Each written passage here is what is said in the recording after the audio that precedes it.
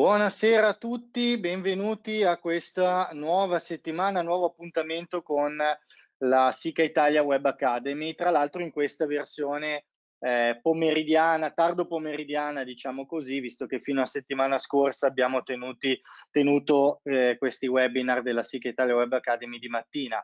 Eh, questa è una versione, chiamiamola, eh, che ci, che, ci, porta all'estate, definiamola così, infatti andremo eh, fino a a, fine giugno avanti con un programma appunto di questa, di questa Web Academy che si terrà eh, a questo orario del, del mercoledì pomeriggio. Eh, vedo che siete in molti, quindi l'appello che avevo fatto la scorsa settimana di seguirci a questo nuovo orario è stato eh, recepito e quindi sono molto felice di questa cosa. Tra l'altro stanno già arrivando delle domande sull'argomento di oggi, quindi credo che sia proprio effettivamente caldo un po' come, come tematica. Eh, spendo giusto qualche parola ovviamente per, per, i nuovi che ci stanno seguendo, anche in virtù di questo cambio di orario magari abbiamo dei professionisti che sono un po' più inclini a seguirci nel pomeriggio rispetto alla mattina e quindi è la prima volta che seguono questa eh, SICA Italia Web Academy. Eh, allora, io innanzitutto sono Marco Pagano, sono di Edicom Edizioni, Edicom Eventi e vi farò compagnia come eh, moderatore di questo appuntamento. Eh, però qua con me c'è Federico Moroni che eh, intanto saluto e che ormai è un veterano della, della nostra, dei nostri appuntamenti eh, in webinar. Sica Italia Web Academy, dicevo, eh, è un progetto che stiamo portando avanti ormai da ehm, fine marzo con appuntamenti a cadenza settimanale in cui siamo un pochino andati ad analizzare diverse tematiche inerenti un pochino al mondo del ripristino, della ristrutturazione, ci siamo spostati diciamo eh, dall'ambito residenziale all'ambito del terziario, ai ponti e viadotti, eh, ne abbiamo analizzate un po' diverse di tematiche, quindi anche molto eh, specialistiche. Lo stesso faremo appunto nelle prossime, eh, nelle prossime settimane. Ehm, oggi analizziamo una tematica che eh, effettivamente definirla di attualità è quasi è un eufemismo perché è di attualità purtroppo da diverso tempo e ci sono state anche problematiche, le abbiamo viste in scuole, ma le vediamo anche a livello residenziale eh, molto importanti. Eh, chiaramente lo sapete già perché ovviamente vi siete iscritti a questo webinar apposta, è la tematica del, dello sfondellamento eh, dei solai. Quindi eh, parliamo di sicurezza indoor, andiamo ad analizzare la tematica, ma andiamo anche a cercare di, di, capire quali sono le soluzioni più idonee, come poter intervenire per mettere in sicurezza eh, per l'appunto un eh, solaio. Eh, prima di lasciare la parola a Federico Moroni che ci introdurrà alla tematica, eh, visto che mh, tra ieri e oggi fortunatamente sono entrati in gazzetta alcune eh, tematiche che potrebbero riguardare tutti voi e tutti noi, quindi molto inerenti il tema del, eh, della riqualificazione del patrimonio edilizio in termini di efficientamento energetico, ma anche in termini di sisma bonus con delle, eh, degli incentivi diciamo abbastanza importanti. Io chiedo a Federico che eh, prima ci farà la sua presentazione eh, con, um, di, di chi è Sica Italia, cosa che facciamo sempre, ma poi gli chiedo già di risponderci a questa domanda se questi interventi sullo ehm, sull'antisfondellamento, quindi di messa in sicurezza del solaio, in qualche modo rientrano nel, nel sisma bonus 2020. Eh, intanto che ci ragiona magari un attimino sulla, sulla domanda, vi spiego come funziona eh, la diretta di oggi. Noi abbiamo un'oretta che poi solitamente si protrae anche per qualche minuto in più, in cui faremo appunto una presentazione, ma non sarà semplicemente una lezione uno a molti tenuta dal nostro eh, Federico Moroni, da qua in avanti Federico, eh, ma sarà interattiva, nel senso che come molti di voi stanno già facendo, eh, c'è la possibilità attraverso il pannellino di GoToWebinar che vedete sulla destra del vostro schermo, attraverso il campo chat domande, di interagire con noi eh, facendo delle domande in maniera scritta. Sarà mio eh, compito raccoglierle, interrompere il nostro Federico per, per, dare risposta ed eventualmente tenere anche qualcosa per eh, il termine di questa, di questa diretta. Laddove non riuscissimo a eh, comunque rispondere in diretta a tutte le domande, eh, Sica Italia nei prossimi giorni darà risposta scritta, quindi riceverete via mail eh, la risposta scritta di queste, ehm, a, a, alle domande che avete fatto fondamentalmente. Altra cosa molto importante, e poi chiudo questa presentazione che riceverete via posta elettronica, eh, a distanza di un paio d'ore dalla chiusura di questa diretta, sono le slide, quindi eh, molti ce le, ce le richiedono durante appunto questi appuntamenti, le mettiamo a disposizione così che possiate andare ad approfondire eh, anche nella tranquillità del vostro studio a casa le tematiche che abbiamo trattato. Non mi dilungo oltre, eh, lascio la parola a Federico chiedendogli appunto se eh, prima di presentare questa tematica ci può illustrare eh, se mh, questa soluzione rientra nel Sisma Bonus 2020. Prego Federico.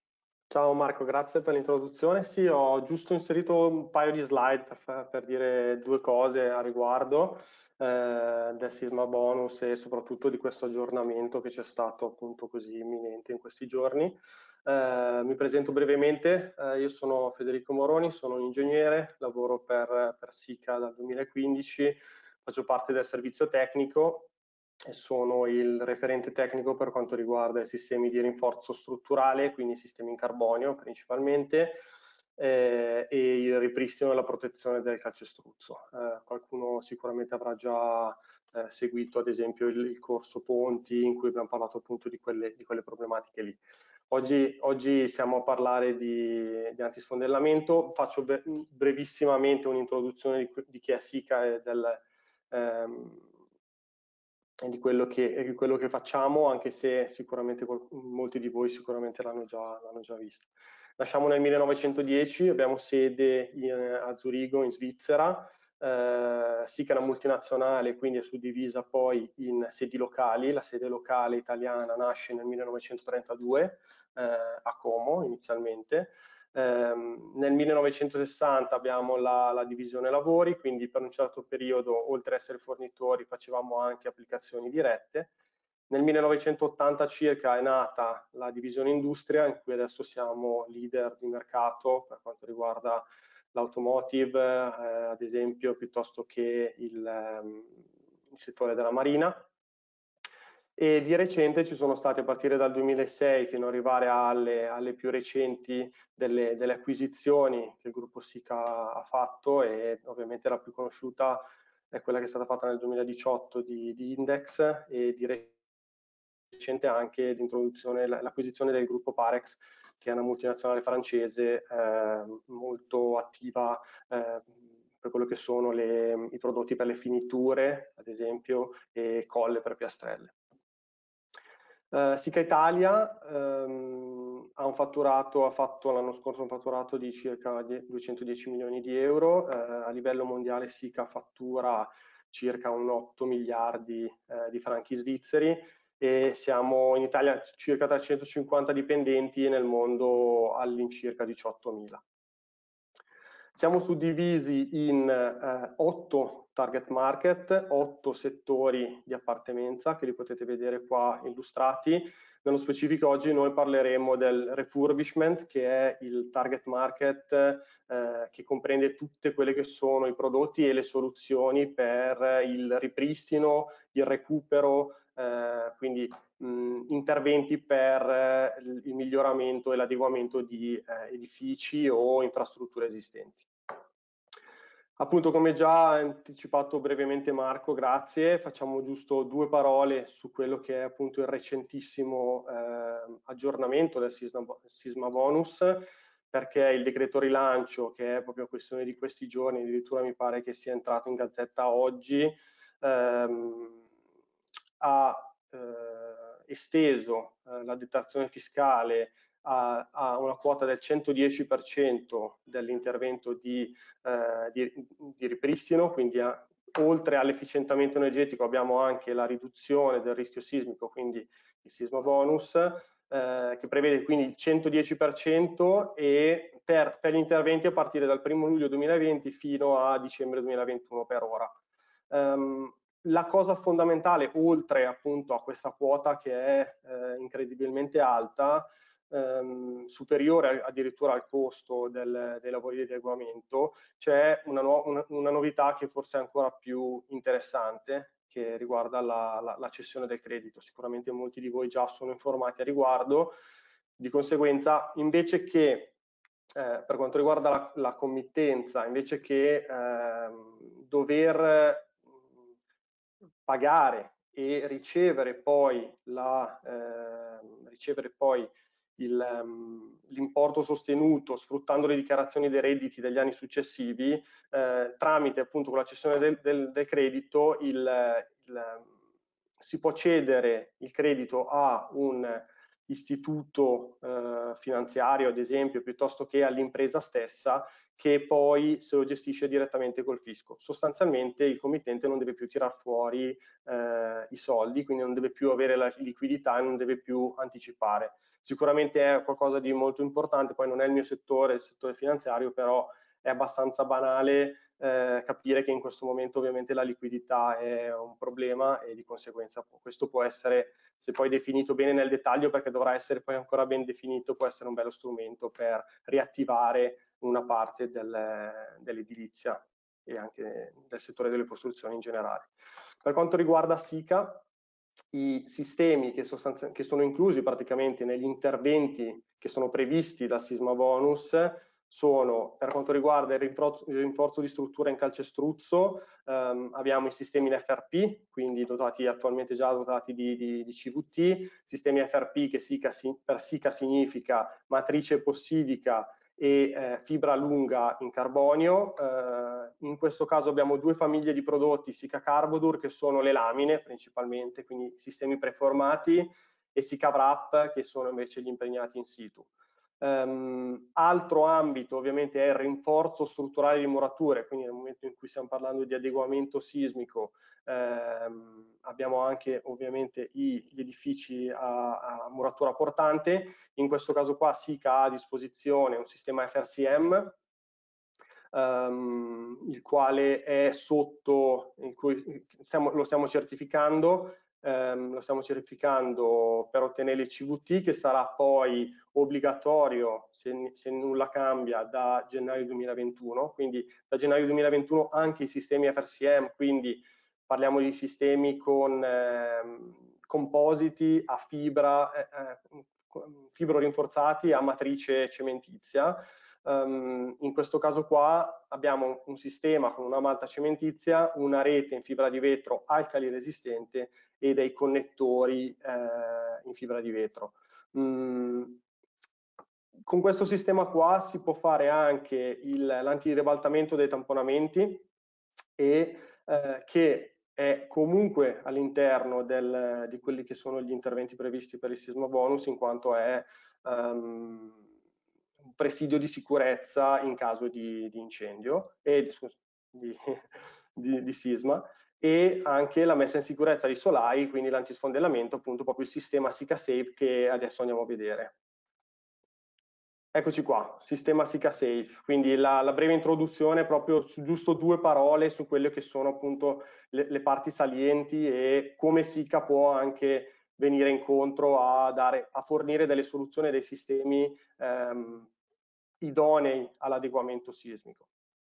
SICA Safe è appunto il sistema di SICA per contro, contro l'antisfonderamento dei solai, è stato introdotto a, a inizio anno, quindi veramente molto molto fresco, eh, nello sviluppo di questo sistema abbiamo avuto la possibilità di eh, diciamo, guardarci un po' in giro e capire quelle che erano le soluzioni più eh, funzionali che già c'erano eh, sul mercato e quindi di conseguenza mh, sfruttare quelle che erano le informazioni già disponibili per progettare un sistema che sia prima di tutto versatile, eh, economicamente sostenibile, ma sicuramente in primo luogo sicuro. Il fenomeno dello sfondellamento lo conosciamo benissimo già tutti, mi soffermerò giusto proprio brevemente per, per dare un paio di, di nozioni che mi, che mi, interessa dare. Eh, ovviamente lo sfondellamento come da, da, da, nome significa che comunque ci deve essere un, un fondello di, di, di, un elemento in, in, in laterizio che si distacca, quindi tendenzialmente dovuto a problematiche di ehm, legate appunto proprio all'elemento in, in, laterizio utilizzato per l'alleggerimento del solaio, anche se spesso e volentieri oltre alla, ehm, al meccanismo dello sfondellamento vero e proprio andiamo a considerare in questo tipo di, eh, di rotture anche il distacco dell'intonaco perché comunque alla fine ha sostanzialmente le stesse problematiche eh, e, di, e, e, viene anche diciamo ehm, curato con, con le stesse soluzioni. Um, lo sfondellamento riguarda principalmente, uh, principalmente i solai laterocemento costruiti tra gli anni 40 e gli anni 70, principalmente perché poi riguarda anche quelli successivi. Uh, in, qua, in, questi anni qua c'è stato il, il, boom economico, di conseguenza il controllo uh, dei, della qualità dei materiali era molto basso, si tendeva a fare grosse quantità senza grossi controlli e anche in cantiere eh, non c'erano tutti i sistemi di controllo che, che abbiamo oggi. Um, il crollo, il crollo um, del, del, dello sfondellamento può portare a un carico da sfondellamento che è molto variabile, dipende molto. Può andare da circa, per dare un'idea di grandezza, ma potremmo avere anche numeri che escono da, questo del, da questo, questa forbice intorno ai 35-75 kg al, al metro quadrato, ma anche potremmo arrivare anche intorno ai 90, eh, a seconda appunto del, dello spessore dell'intonaco, del tipo di materiale, se c'è anche uno un, eh, un'espulsione del copriferro del, del travetto, e, e, eccetera. Um, è abbastanza diffuso sul territorio italiano, abbastanza, non ci sono particolari zone estremamente soggette, siamo tutti un po', diciamo, purtroppo soggetti a questo tipo di, questo tipo di problematica. Il problema ovviamente, come, come, già ben sappiamo, non è un problema di tipo strutturale, ma è un problema di eh, sicurezza e di incolumità delle persone che, che stanno all'interno dell'ambiente, in quanto nel momento in cui avviene il collasso non, eh, non ci sono dei segnali premonitori che ci possano far presagire l'avvenimento appunto del, del, crollo. Quindi di conseguenza ehm, può essere, anche se stiamo parlando di carichi relativamente bassi per quello che è dei carichi strutturali no, normalmente, eh, comunque, sono comunque dei carichi che possono eh, ledere l'incolumità del, delle persone all'interno del, dell'ambiente. SICA quindi la prima cosa mh, mm, che ha voluto diciamo, mettere mh, mm, come pietra miliare è la sicurezza. Quindi in primo luogo il, il, sistema deve, doveva essere sicuro, infatti ci siamo affidati al Politecnico di Milano per fare la campagna di prove ehm, sul sistema. A noi piace collaborare con, eh, con quelli che sono appunto ehm, gli enti di ricerca, come può essere il Politecnico di Milano, definendo insieme a loro quelli che possono essere anche diciamo, eh, i metodi di prova, senza imporre per forza un metodo definito da noi. Um, e il nome è stato scelto appunto safe in, in inglese significa proprio sicuro e tra l'altro nella Treccani questa vabbè è una, una, una, stupidata che abbiamo inserito in più eh, nella, nella, nella Treccani si trova proprio eh, all'interno della definizione di sicuro eh, di luogo dove si può stare o passare senza correre rischi o di luogo in cui si può riporre o conservare cosa preziosa senza pericolo. Ecco, questo è proprio sicuramente il nesso il principale, l'obiettivo principale. Um, il sistema Sika Safe si divide in due tipi, un sistema secco, Sika Safe R, R sta per rete, e un sistema a, eh, invece con Malta, quindi RM, eh, sistema quindi rete e Malta, quindi di conseguenza abbiamo la possibilità di scegliere, quindi abbiamo prima di tutto la versatilità di poter scegliere due sistemi, uno ovviamente più economico e uno invece più prestazionale che mi permette anche di ottenere una, una finitura eh, del, del sistema liscio, diciamo. Um, Sika SafeR è composto da una, una rete Sika Wrap 350G Grid, una rete in fibra di vetro e dei, dei fissaggi meccanici. Invece Sika Safe RM appunto è composto dalla stessa rete, eh, una, eh, che è una rete da 350 grammi al metro quadro e una malta che è Sika Monotop 722 Moore, che è la malta che noi utilizziamo per i nostri sistemi FRCM, quindi è una malta strutturale ad elevatissime prestazioni e come potete notare questa, anche nella seconda, anche nella, nel sistema SICA Safe RM abbiamo sempre i fissaggi meccanici. La nostra filosofia è l'unico eh, è di mettere comunque sempre i fissaggi meccanici in ogni caso, nonostante vedrete le prestazioni sono veramente molto elevate, in quanto è diciamo l'unica ancora di salvezza, voglio dire, nel senso, mi spiego meglio, è l'unico modo per andare diciamo, ad, ad, aggrapparsi a qualcosa di solido è riuscire ad andare ad attaccarsi o al nucleo del, del calcestruzzo o alla cappa armata al di sopra del, del, del solaio. Quindi di conseguenza per noi ancora il, il, sistema di fissaggio meccanico è, è, fondamentale. Scusa Federico, prima di andare oltre però, visto che stai presentando due sistemi che hanno uno a secco diciamo e uno con malta, eh, mh, riassumi bene qual è la differenza quando è meglio usare un sistema e quando è meglio usare l'altro? Allora, il sistema secco è un sistema che sicuramente ha una finitura che non può essere lasciata a vista eh, esteticamente, quindi di conseguenza è previsto in caso in cui io devo andare a mettere magari, non so, una, una controsoffittatura. Ho previsto una controsoffittatura standard, quindi non antisfondellamento, e, eh, però ho il problema del sfondellamento, quindi mi metto e faccio, la, faccio il sistema a secco oppure può essere anche utilizzato in ambienti in cui non mi interessa l'aspetto estetico della, della, finitura.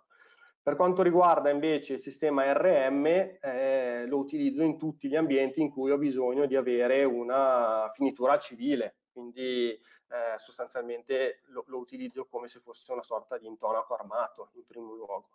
Um, quindi questa è principalmente la, la, la, la differenza dei, di questi due sistemi. Grazie per Perfetto. almeno... Eh, 722 Moore è una malta, appunto come dicevo, di tipo strutturale, ha ben tre marcature CE, adesso non, non ci soffermiamo su queste cose qua, però è una malta da ripristino in classe R2, da ripristino del calcestruzzo, è una malta da muratura eh, in classe M20 secondo la, la 998 parte 2 ed è anche una malta da intonaco, quindi anche la marcatura CE come in classe GP CS4 che è tra l'altro la, la, più alta possibile in termini di, di resistenza a compressione.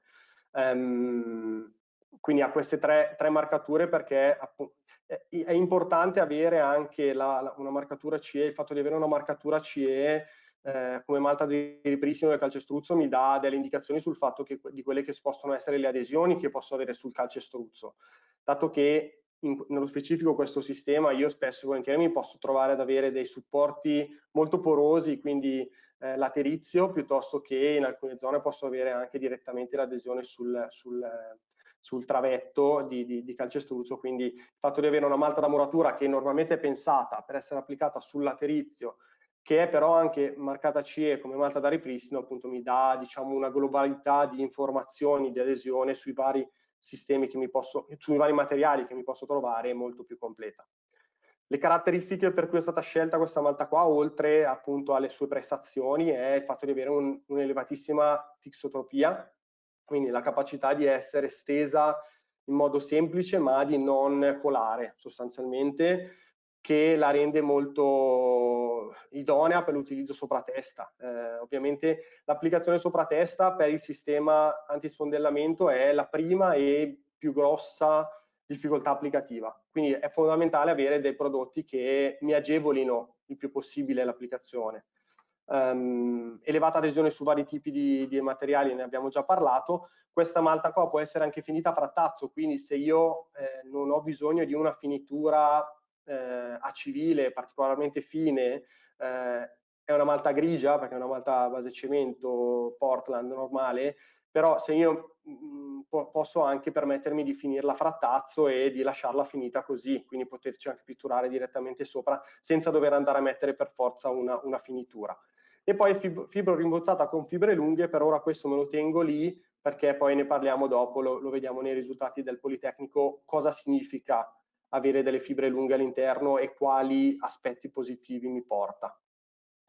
La rete, la 350G Grid, anch'essa è stata scelta ehm, per agevolare il più possibile l'applicazione. Eh, quindi è una rete abbastanza leggera rispetto diciamo, a, alla media che possiamo trovare sul mercato, perché è solo un 350 grammi, eh, è comunque una, è una, rete di tipo strutturale ehm, in, in vetro E eh, appunto abbiamo delle, giusto per dare un paio di numeri, abbiamo delle resistenze di, per un metro di ordito nella direzione del, di svolgimento del rotolo che arrivano a 77 kN al metro, quindi comunque stiamo parlando di, non di una rete porta intonaco, stiamo parlando di una rete strutturale. E anche a un'elevata stabilità trama del nodo, perché poi lo, vediamo il motivo per cui è fondamentale che, eh, che si utilizzi una rete di questo tipo. Uh, quindi sistema SICA 6 FR, parliamo, vediamo brevemente quello, come si compone il sistema nudo, eh, il sistema secco, quindi andiamo sostanzialmente ad applicare, qua vediamo eh, il, nostro, il, nostro, solaio su cui vado ad applicare direttamente la rete e la tassello con, eh, sistema di, di, fissaggio meccanico. Questo è poi quello che, che, ottengo, quindi questa qua è poi la finitura che io ho, di conseguenza appunto eh, deve essere previsto o, o, non mi interessa l'aspetto estetico oppure deve essere previsto un, un sistema di eh, controsoffittatura. Per quanto riguarda invece il sistema RM, quindi quello con rete e malta, noi abbiamo la possibilità di fare due sistemi diversi. Uno che lo possiamo chiamare sistema RM1, è sostanzialmente uguale nella prima fase al sistema R, quindi vado ad applicare la rete come se fosse un sistema a secco e vado a mettere la malta solo una volta applicata la rete. Quindi ehm, permettiamo di andare a fare una lavorazione di questo tipo che mi, ovviamente richiede il fatto di dover schiacciare molto bene la malta, ovviamente per farla passare attraverso la rete e farla aderire al supporto perché di per sé il sistema è testato anche nudo, quindi eh, a livello di capacità portante, lo vedremo poi dopo, il sistema nudo è già sufficiente, però ho bisogno di una malta che abbia un'elevatissima adesione eh, perché appunto con questo tipo di applicazione qua eh, ho ridotto la, la, lo spazio disponibile alla malta per andare ad aderire al supporto. E se avessi una malta debole, un calcestruzzo, un, un intonaco normale, standard, il rischio è che avrei il distacco del, del, del, del dell'intonaco dal supporto con possibilità di formazione di cavillature cosa che invece riusciamo a evitare con questa malta dato le, le sue performance di, di adesione e, fatto, e, e, quindi queste performance qua ci permettono anche di utilizzarla diciamo, in spessori molto più bassi rispetto a quello che potrebbe essere un, ehm, un intonaco normale. E poi c'è il sistema RM2 che invece è praticamente un sistema FRCM nella pratica, eh, di conseguenza si va a mettere la malta direttamente sul supporto si va a negare la rete all'interno della, della, prima mano di Malta, si fa la, il, il, fissaggio anche a Malta indurita, ad esempio, in modo da poter lavorare in modo pulito, e poi si va a rifinire con, con la seconda mano di Malta. Questo mi permette di ottenere una, appunto, di, di finire la mia superficie liscia come pronta poi per una rasatura piuttosto che frattazzata direttamente. Ah, scusami, anche in questo caso qua, visto che stai presentando comunque due sistemi, diciamo, alternativi, eh, abbiamo capito la differenza di quando a secco, quando con malta, all'interno di questo con malta, quando utilizzo questo con, con questa doppia, eh, diciamo, applicazione a malta e quando utilizzo il sistema, se non sbaglio, RM, quindi con un'applicazione solo di malta. Quali sono i vantaggi allora, di utilizzare questo fondamentalmente? Certamente, allora i vantaggi sono sicuramente sono due, due vantaggi. Uno a livello di performance, che eh, ovviamente in questo caso qua è un sistema con delle performance estremamente elevate. Um, due, anche applicativo, perché se da un lato devo andare a fissare eh, la, la, mia rete, la fase di posa della rete, in, da, un certo, da un lato col sistema eh, a secco ma anche col sistema RM1 devo andare a tassellare contestualmente l'applicazione della rete devo andare a tassellare in questo caso qua invece ho già la mia malta fresca sul supporto quindi la rete la inglobo con una semplice passata di spatola diventa molto più semplice più veloce da, da applicare eh, evitando anche in modo molto più semplice eventuali imbarcamenti della rete stessa. Eh, può essere anche che ho bisogno diciamo, di andare un po' a rinforzare il mio fondello della pignatta, ad esempio, poi adesso vedremo anche quelli che sono i vari eh, fissaggi meccanici disponibili, ma abbiamo dei, dei, dei fissaggi meccanici che, che, possono passare attraverso la pignata e andare a, appunto ad ancorarsi alla, alla, alla caldana armata, eh, alla cappa armata. Ehm, in questo caso qua può essere, può essere mh, necessario andare un po' a rinforzare quello che è il fondello della pignatta, prima di fare l'ancoraggio e di conseguenza in questo modo qua io ho la possibilità, appunto ho la possibilità di coprire tutte le possibili eh, applicazioni e di andare a rinforzare appunto in precedenza il, il, fondello della pignata per poi fare i miei ancoraggi, eh, le, per fare i miei mm, fissaggi ecco. meccanici ecco. in sicurezza. Tra l'altro una domanda che è arrivata, ne stanno arrivando tantissime, te lo anticipo già, quindi sono già in difficoltà anch'io a, a catalogarli, ma voi mandate e, e, ci lavoro un attimino su prima di fare la nostra Federico. Ma, eh, allora, eh, ci chiedevano, perché il tema lo stai affrontando adesso, eh, se ho uno spondellamento, diciamo che si crea una parte di vuoto nella, nella pignata. Eh, ci chiedevano per l'appunto come andare a colmare quella parte di vuoto. Adesso, adesso lo vediamo. Allora, il per colmare quel vuoto lì, comunque lo vediamo perché ho un paio di slide, adesso entriamo un po' nel dettaglio di quella che è l'applicazione, quindi lo, lo, vediamo direttamente. Ovviamente l'esecuzione di quella fase lì è una, una, fase tradizionale, mi posso utilizzare anche una malta confezionata in cantiere andando a inserire del, dell'EPS piuttosto che andando a inserire del laterizio. Eventualmente può essere utilizzata anche direttamente la, la malta 7, 722 Moore in quanto ha un'ottima adesione sulle PS, quindi se mi dovesse servire come strato di incollaggio del, mia, del mio elemento in EPS posso utilizzare anche già direttamente 722. Ehm, quindi poi però lo vediamo un po' più nel dettaglio successivamente. Certo. Fissaggi meccanici. Allora, i fissaggi meccanici abbiamo ehm, una, una linea di viti da, da, calcestruzzo, quindi autofilettanti da calcestruzzo da 6 mm di diametro, che si chiamano BSZ-SK, di due, di due lunghezze diverse, poi le vedremo. E la cosa fondamentale è che tutti gli ancoranti sono sempre già preaccoppiati con una rondella, nel caso delle BSZ-SK, da 40 mm in acciaio zincato e una rondella in SBR che, che vengono utilizzate pre, eh, accoppiate. Eh, L'altro sistema di, quindi questo qua è il sistema di ancoraggio che mi serve per andare ad ancorarmi al travetto, sostanzialmente, quando ho calcestruzzo. Al travetto piuttosto che alle travi di cordolo, tutti i supporti in calcestruzzo.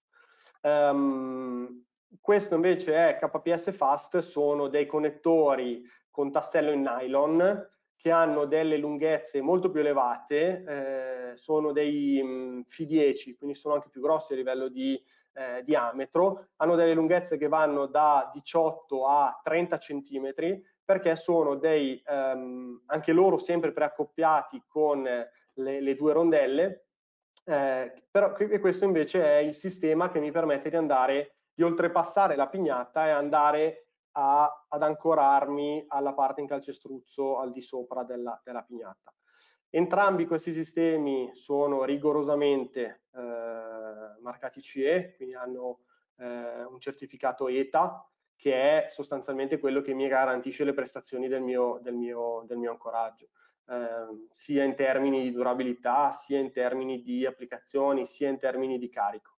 Quindi questa è la parte fondamentale. Ovviamente esistono numerosi eh, fornitori, magari locali, che eh, for, a, facciamo attenzione, non, non voglio eh, entrare troppo nel dettaglio, ma io direi solo facciamo attenzione del fatto che i, ehm, i tasselli che vado a utilizzare siano marcati CE nel modo, nel modo corretto, perché questo è l'unico modo che io ho, eh, progettista o committente, di essere certo di quelle che sono le prestazioni che, del prodotto che mi stanno vendendo in generale.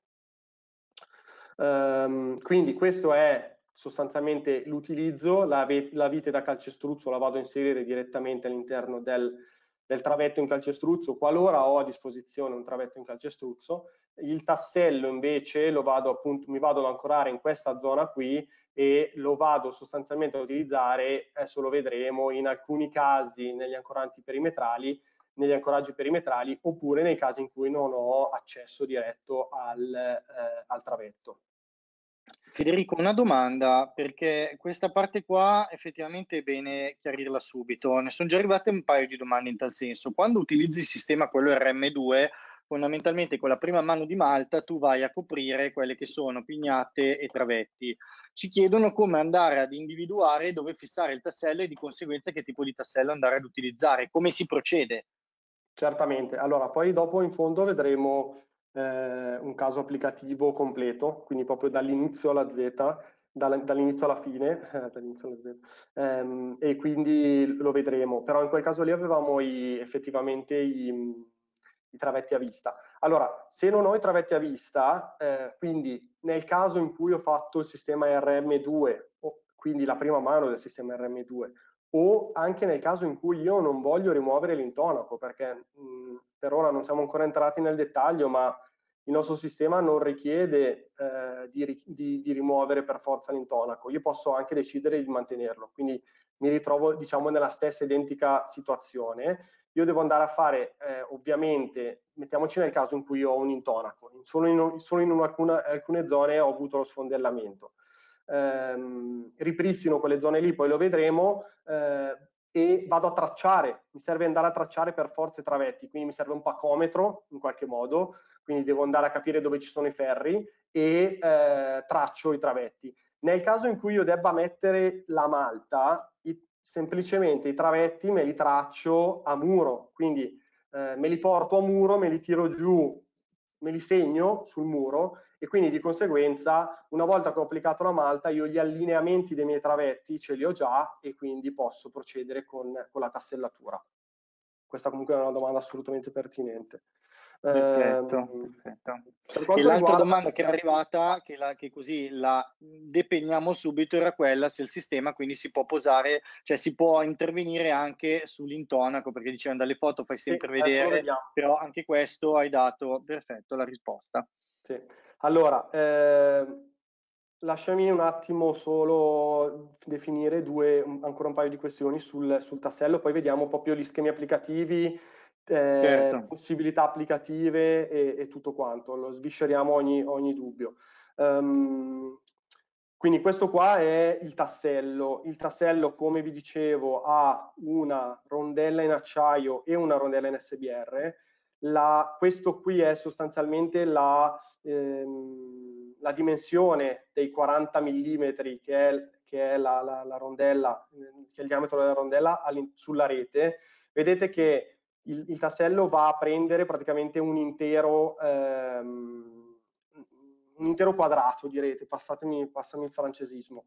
Ehm, e quindi vado a prendere sostanzialmente quasi, quattro, vado a prendere sempre quattro nodi la rondella in, in SBR, o, da, questa rete qua ha già un'elevatissima stabilità del nodo, la rondella in SBR mi aiuta a stabilizzare ulteriormente perché si va a deformare all'interno di questi spazi e quindi il nodo me lo, me lo stabilizza in modo perfetto. Oltre a stabilizzare il nodo, mi salvaguarda la rete dal, dall'eccessivo serraggio ed evita il tranciamento della rete nel momento in cui inizio ad applicare lo sforzo. Poi lo vediamo nei, nei, nella parte dei, delle, della, della ricerca al Politecnico che abbiamo fatto. Applicazione del sistema, quindi eccoci qua, partiamo da, da zero. Eh, ho, questo, ho, un caso in cui ho anche il travetto ammalorato, poi nella documentazione tecnica, nella scheda di sistema, c'è tutta la procedura eh, in modo molto dettagliato. Eh, quindi ho, normalmente può capitare che il, la, la, goccia che fa traboccare il vaso sia proprio eh, l'espulsione del copriferro del travetto, che poi mi fa sfondellare la pignata. Quindi capita spesso, non sempre, capita spesso di avere anche questa situazione qua. Quindi sostanzialmente cosa faccio? In primo luogo vado a eh, ripristinare il travetto ammalorato, che tra l'altro in questo caso qua aveva una, una forma V per via, della, per via della pignata, me lo vado a ricreare nella forma che mi interessa a me. Quindi lo vado a, crea a creare bello planare, con la mia malta da ripristino, qua abbiamo un esempio, quindi gli vado a mettere, mi pulisco, rimuovo tutto il calcestruzzo in distacco, pulisco le armature, vado ad applicare il mio passivante per le armature e poi faccio un, il ripristino del travetto. Il ripristino del travetto, io qua ho riportato una nostra malta che è il, il Sicarep, che è un R3, che normalmente per i calcestruzzi di questo tipo qua è diciamo, l'ideale. Ehm, quindi una volta che ho ripristinato il travetto mi vado a, ri a, riportare nella condizione in cui il travetto non si era deteriorato, quindi sostanzialmente siamo, ci, ci riallineiamo a questo caso qua. In questo caso qua ehm, ho due possibilità. Eh, io ho come obiettivo il ripristino della planarità del supporto. In ogni caso io comunque devo, eh, prima di mettere il, il, mio, il, mio, sistema, devo avere un supporto planare, quantomeno.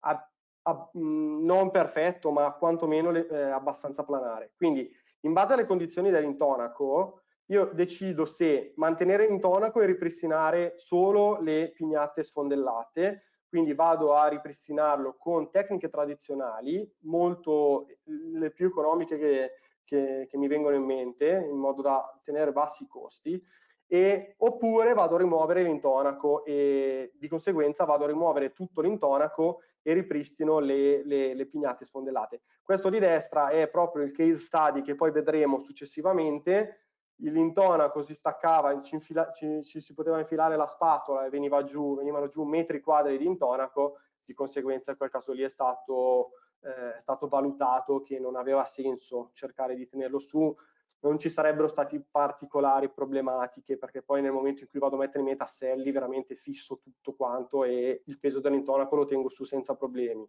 ma non ha proprio senso andare a fare, ad, ad applicare un sistema su qualcosa che sia assolutamente completamente in distacco. Quindi cerco di evitarlo, cerco di ridurre i pesi che gravano sul mio solaio, in questo caso qua è stato molto più semplice andare a, a rimuoverlo. Se io mantengo il mio intonaco, devo solo fare attenzione a una cosa, che ovviamente è prassi, eh, nor normale prassi, devo andare a rimuovere ovviamente la pittura quindi eh, con un sistema di levigatura eh, vado a rimuovere la pittura ed eventualmente la finitura, se la finitura fosse effettivamente molto molto debole.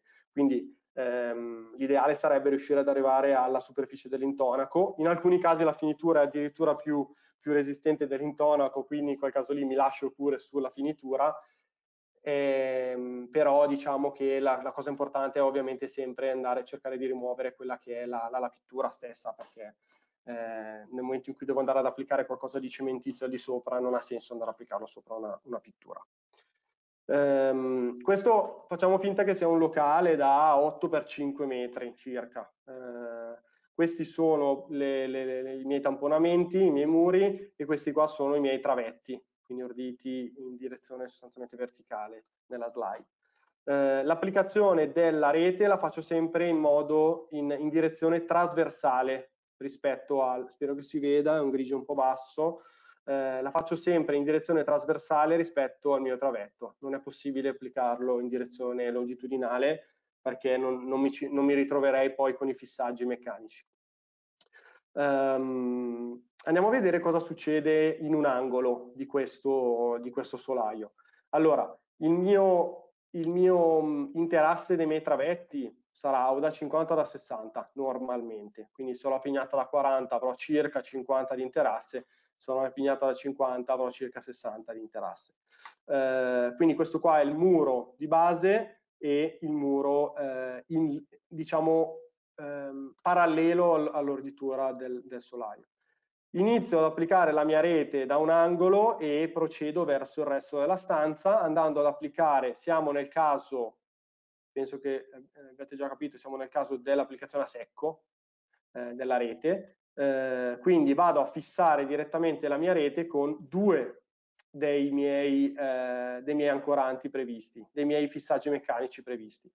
La rete ha una larghezza di un metro e poi vado ad applicare il, la rete successiva, lo svolgimento successivo con altrettanti due fissaggi e in questo modo vado a fare anche il fissaggio di, eh, di, sovrapposizione, che è ovviamente fondamentale se l'avessi fatto in precedenza non potrei più fissargli sopra il secondo rotolo. La lunghezza di sovrapposizione è un parametro estremamente importante perché poi eh, l'abbiamo visto nella, nella campagna di, di, sperimentazione, influenza la resistenza finale del, del, mio, del, mio, sistema, quindi devo garantire almeno 10 cm. E, eh, e di conseguenza il passo dei eh, tasselli viene da sé, perché da un lato avrò il passo fisso del travetto, di conseguenza o i miei 50 o i miei 60 sono quelli, e dall'altro devo mettere tre tasselli eh, su un metro di rete, quindi un metro di rete meno 10 centimetri di sovrapposizione fa 90 e quindi il mio passo sarà, eh, divido questo 90 per 2 e ottengo il mio passo dei tasselli. Quindi sarà 50 circa per 45, questo sarà il passo dei tasselli. Una, ehm, una richiesta eh, relativa forse alla misura che non so se andrai a dire, ma non c'è qua, ci chiedono se c'è una misura minima della larghezza del travetto per garantire la distanza dai bordi di, del travetto del fissaggio. Una misura minima? Quindi se c'è una larghezza minima del travetto di modo da garantire quella che è la distanza minima dai bordi del fissaggio eh, che è presente nella scheda tecnica del tassello?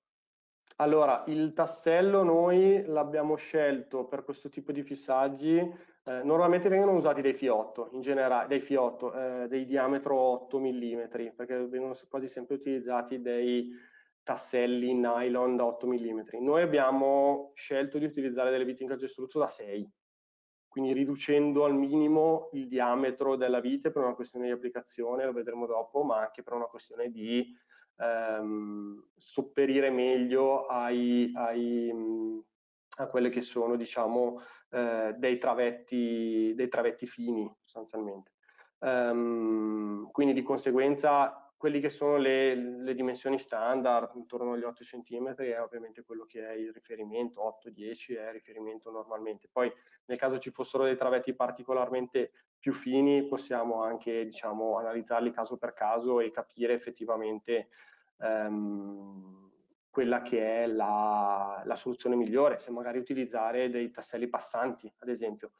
In, in generale un metodo di prova molto semplice, molto efficace è appenderci dei sacchi. Mi metto su un po' di tasselli e mi appendo un po' di sacchi. Nel momento in cui io riesco ad arrivare a 100 kg a tassello, ho, ho molto di più di quello che è la, la, la, prestazione richiesta. Ho già quattro volte quella che potrebbe essere la, la prestazione richiesta al tassello stesso. Um, quindi, visto che ti ho interrotto, scusami, ne approfitto, perdonami, ma sono tante, no, no. cerchiamo di dare sì, sì. Eh, spazio ad alcune già adesso. Eh, posso usare questo sistema con solai di tipo Varese, quindi dove la distanza tra i travetti è maggiore, anche un metro? Allora, eh, la cosa importante è che allora, anche, anche un metro potrebbe essere eh, fattibile in quel caso lì potrebbe aver senso andare ad aumentare il passo nella direzione parallela, quindi andare a portare, a dividere il 90 per 3, andare a mettere ehm, eh, 4, 4, tasselli per ogni, per ogni vite, per ogni, sì, per ogni, vite, per ogni eh, larghezza di, di, di, rete. Quindi si può, si può valutare ehm, poi vedremo le prestazioni che abbiamo ottenuto con il sistema base, quindi secondo me ca eh, si capirà anche quelli che sono appunto i margini, perché stiamo parlando di veramente coefficienti di sicurezza estremamente elevati, quindi c'è margine, c'è sicuramente margine. Um, Ovviamente non si, può, si, non si, può, testare qualsiasi tipo di, di, di solaio, noi la, la parte di, di, test l'abbiamo fatta su dei solai diciamo standard, per avere delle prestazioni su dei solai standard, ma le prestazioni che abbiamo ottenuto sono veramente estremamente elevate, quindi di conseguenza si può valutare, ehm, si può valutare poi anche delle soluzioni diciamo ad hoc. Um, ecco, quella cosa Posso proseguire o hai altre domande? Sì, sì, però no, prosegui, prosegui. Stanno arrivando okay. altre domande, ma intanto prosegui su questo aspetto. Okay. Dai.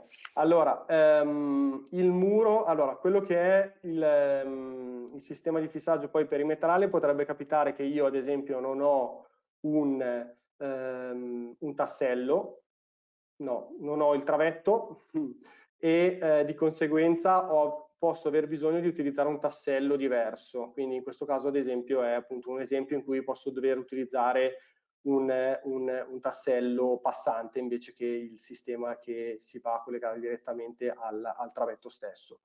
Uh, quindi in questo caso qua posso andare a utilizzare eh, BSZSK per eh, gli, tutti i fissaggi d'area e poi in alcuni casi mi può capitare di dover andare a mettere il tassello passante, quindi in questa zona qua.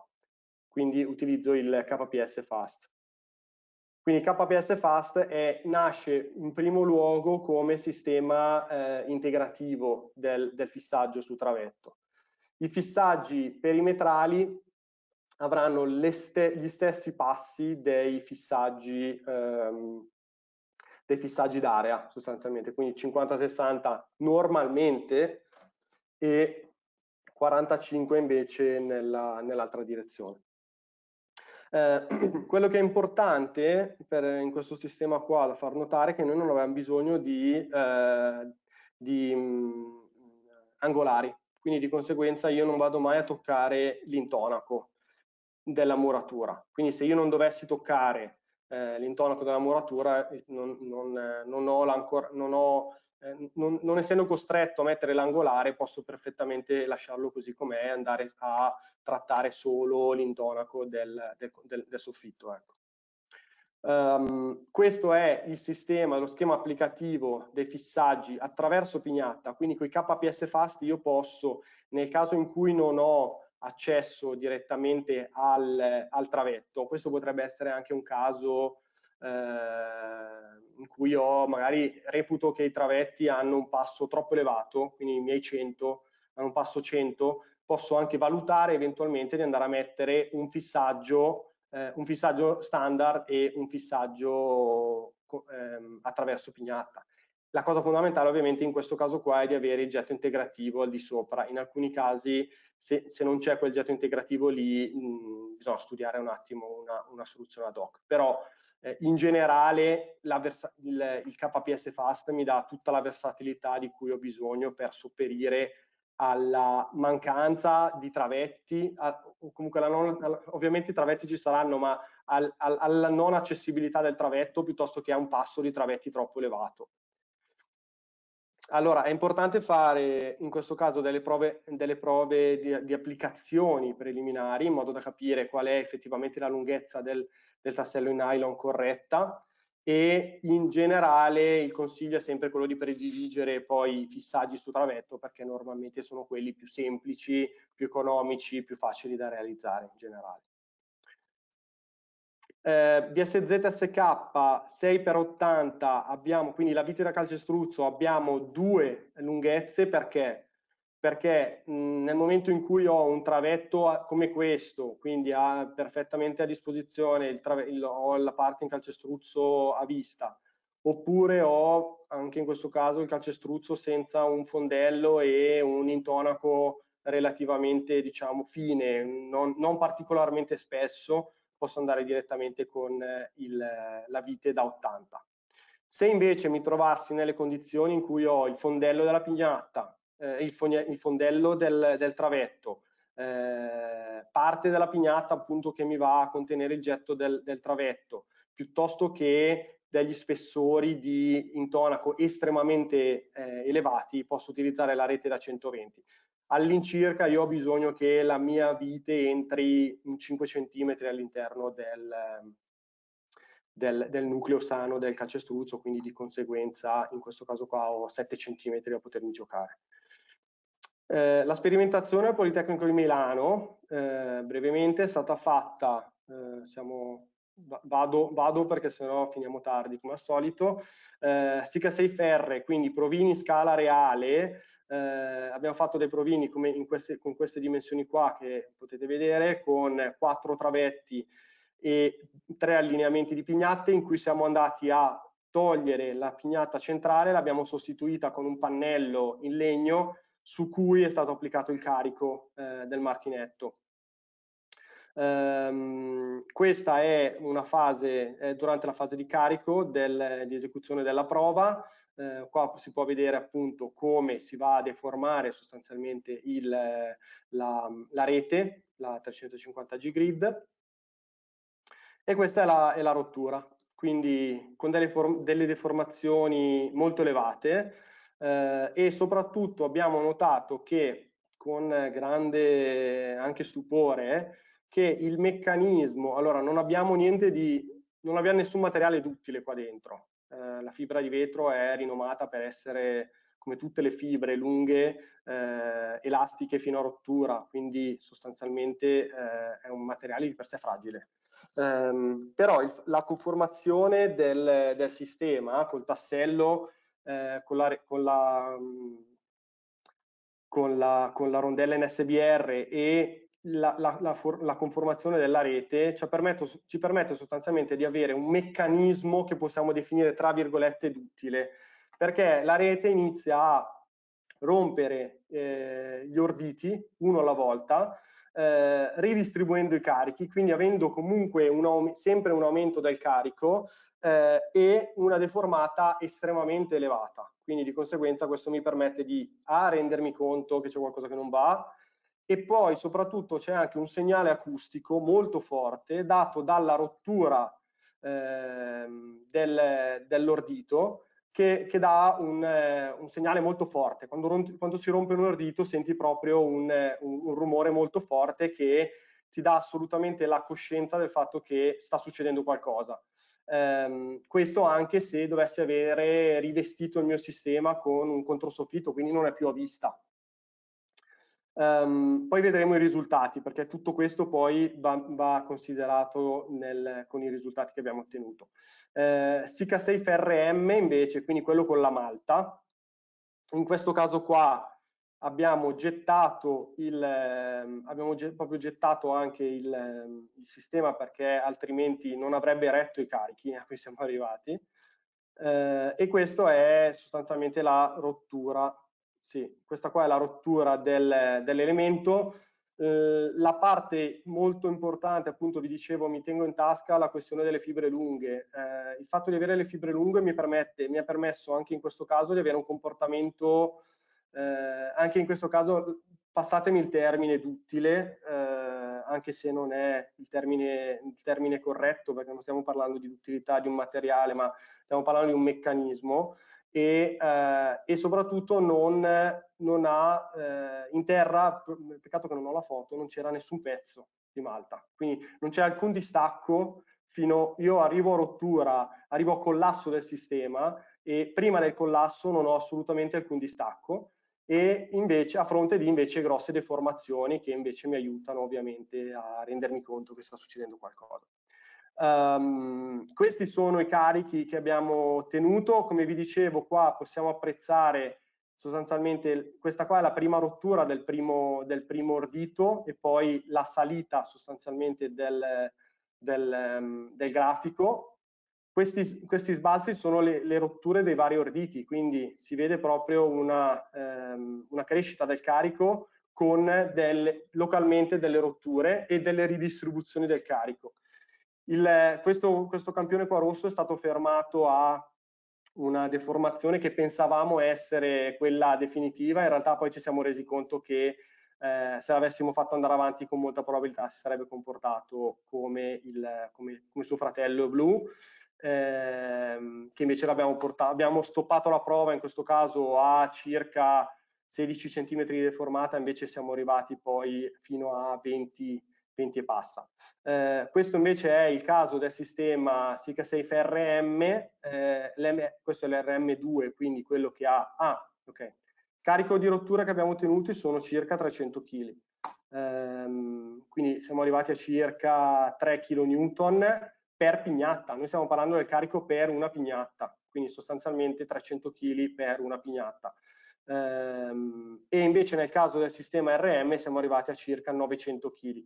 Se noi consideriamo il fatto che stando larghi il carico di rottura che potrei avere per una sola pignata sono circa 10 kg, 9-10 kg, eh, fate voi, vi lascio fare voi il calcolo del, del fattore di sicurezza di questi, sia, del, sia dell'R sia del, dell'RM. L'RM addirittura abbiamo 100 volte quello che è il carico che mi posso aspettare da, per la rottura della pignata. Quindi dopo che abbiamo ottenuto questi calcoli, avevamo ottenuto questi carichi, ovviamente ci siamo resi conto di quello che era, il, era le, le, potenzialità del sistema che sono estremamente elevate.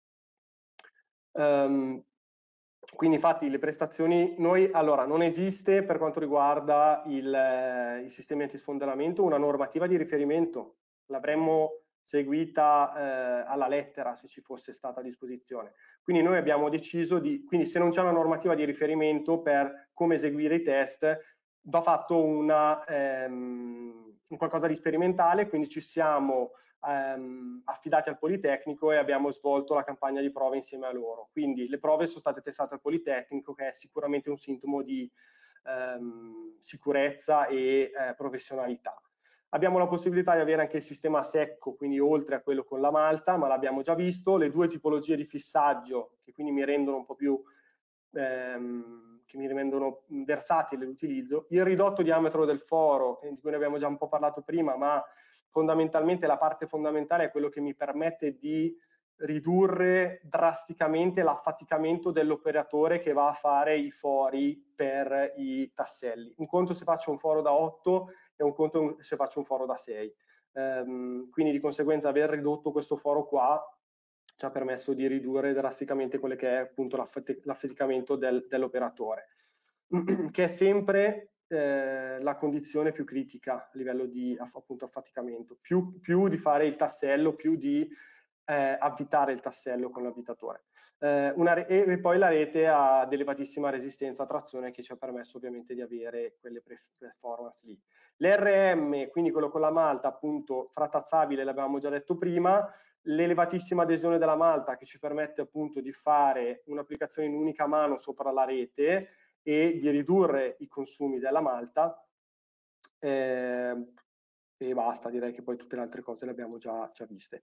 Andiamo a vedere brevemente quello che è il case history, quindi eh, un cantiere in cui abbiamo seguito eh, pedissequamente fase per fase e possiamo appunto eh, vedere, capirci un po' di più per quella che è la fase, la fase applicativa. Eh, abbiamo un solaio latero cemento in cui appunto come già dicevo prima è stato rimosso l'intonaco perché era proprio in fase di distacco eh, molto forte, eh, sono state ripristinate le pignate sfondellate, come vedete qua, in questo caso qua sono state ripristinate con una malta eh, confezionata in cantiere e andando a mettere all'interno del, dei pezzi di laterizio, quindi l'impresa ha gestito questa cosa autonomamente. Eh, e poi abbiamo iniziato con la posa del sistema. Ovviamente la prima cosa che faccio è faccio il tracciamento dei, dei del, dei 45 cm per la posa dei tasselli. Allora, come dicevamo prima, in questo caso qua io ho già ho il, il fondello del travetto, quindi io so già dov'è il travetto, quindi questo allineamento ce l'ho già. Se io avessi l'intonaco, se avessi avuto l'intonaco, oppure se avessi dovuto fare la, appunto la, la malta, quindi rendere opaca questa parte qui, eh, mi sarei dovuto segnare in questa zona qua l'allineamento di questi, di questi travetti in modo che poi una volta eh, applicata la malta posso rifare questo tracciamento qua, rifare questo tracciamento qua e ho trovato perfettamente la localizzazione del tassello da andare a mettere.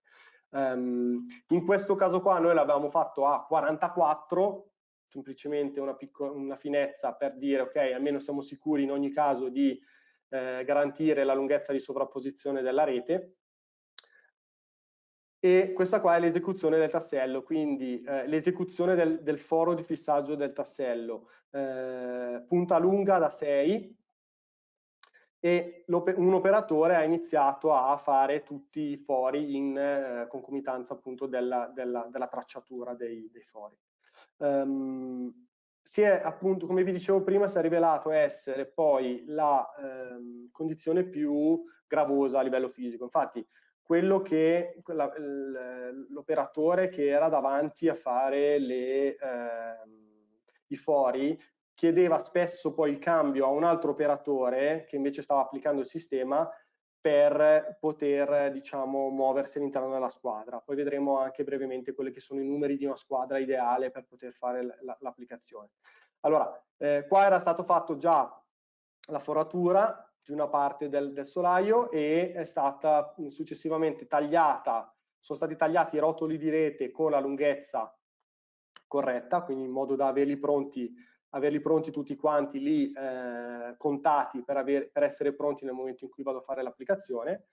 Questa è la fase di assemblamento del tassello, qua potete vedere la vite di SZSK da 12 cm, 6 mm di diametro, 12 cm, che viene assemblata con le rondelle, quindi metto prima la rondella in acciaio, poi la rondella in SBR che deve andare ovviamente a contatto diretto con la rete, bagnatura del supporto, quindi prima di mettere ancora la rete, in realtà l'avevamo già fatta anche, è stata fatta già anche la sera prima, quindi più ne faccio di bagnature meglio è, dato che il supporto è estremamente assorbente. Prima di andare a mettere la rete abbiamo fatto un'ultima bagnatura in modo da poi non bagnare la rete quando, quando una volta applicata. E poi abbiamo iniziato a, ad applicare la, il sistema, quindi eh, tutto già forato, eh, tutto già bagnato e applicazione dei tasselli con, con l'avvitatore. La cosa fondamentale è utilizzare un avvitatore, noi diamo delle caratteristiche dell'avvitatore minime eh, consigliate, serve un, un, avvitatore professionale perché diventa uno strumento fondamentale che lo, si fa, che lo si usa veramente tantissimo e soprattutto deve avere delle coppie di serraggio molto elevate perché devo, mi deve permettere di riuscire a chiudere con facilità tutte le viti senza stare lì a perderci tempo. Quindi la scelta dell'abitatore è, è sicuramente fondamentale. Questa qua, come vedete, ci sono i primi due eh, tasselli applicati con la rete eh, che scende e eh, il fissaggio del, seconda, del, secondo passaggio. Questa è l'applicazione del tassello mh, sul, nella zona di sovrapposizione eh, quindi di almeno 10 cm, come dicevamo prima, e questa è poi l'applicazione del terzo strato e così via. Eh, quindi questa è poi la corretta esecuzione, vedete che la, la, la rondella NSBR si va a deformare all'interno degli spazi della rete e mi crea il fissaggio perfetto e eh, quindi bisogna avere, come già dicevo prima, una coppia di serraggio dell'abitatore che mi permetta di chiudere correttamente la mia, la mia, il mio tassello addosso alla rete facendo deformare appunto la, la rondella. Questo è il sistema applicato ehm, su, per quanto riguarda i, eh, gli ancoraggi d'area, mancano i, questa zona qua, perché qua avevamo il travetto, quindi questa zona qua perimetrale è stata fatta direttamente con le viti, manca questa zona qua che invece è l'altra l'altra parte perimetrale. Allora, in queste zone qui in cui ho il travetto perpendicolare ho sempre la possibilità di avere un'applicazione del, del, del, fissaggio perimetrale. Il problema mi si può porre solo quando ho delle tramezze o dei muri di tamponamento eh, paralleli ai miei travetti e di conseguenza in questa zona qua infatti non avevamo la... Ehm, non avevamo il travetto. Ecco, perché, ecco, ecco che abbiamo utilizzato il sistema KPS, questo qua lo vediamo composto appunto sempre con le sue due rondelle e questa è l'applicazione attraverso la pignatta del, del sistema. La, questo quindi l'inserimento, il foro è in questo caso viene fatto e deve essere da 10 cm, da 10 mm di diametro e poi vado ad abitarlo sempre con, con l'abitatore e qua possiamo vedere che in questa zona qua c'è l'allineamento dei fissaggi del travetto e in questa zona qua invece dove non c'è il travetto c'è l'allineamento dei fissaggi con KPS Fast. Applicazione della malta, eh, in questo caso mh, mm, era necessario, eh, era è un ambito residenziale, quindi serviva poi una finitura al civile, quindi di conseguenza è stata applicata la malta prima, prima, prima, applicazione solo di una sola mano di malta con, facendo molta attenzione in questa fase qua a schiacciarla bene eh, addosso al supporto in modo che riesca a passare bene attraverso i fori e mi crei adesione col supporto. Ecco perché avevamo bagnato ovviamente il supporto, proprio per renderlo eh, idoneo all'applicazione della malta. Se io, ho, se io ho un sistema a secco, io qua mi ero già fermato, avevo finito completamente, non avevo bisogno nemmeno di bagnare.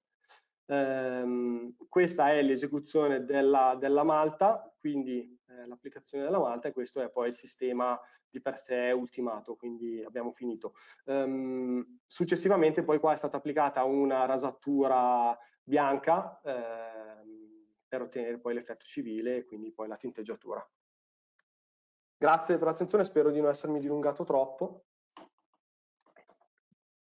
Ma allora, no, direi che con l'orario ci siamo perfettamente. Allora, come ti anticipavo, sono arrivate tante domande. Allora, molte erano dello stesso, sullo stesso argomento fondamentalmente, quindi ho cercato un pochino di raggrupparle. Eh, tra l'altro poi nello svolgersi della presentazione mi sono reso conto che molte cose le sei andate a toccare anche senza la domanda, eh, okay. perché diciamo sono arrivate subito domande relative alla lavorazione.